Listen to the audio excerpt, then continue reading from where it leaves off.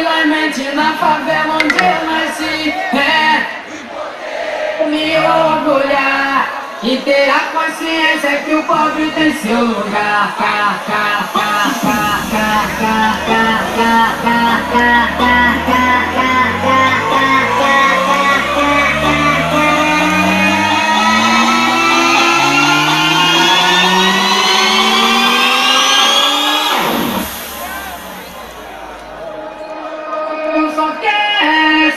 Amen.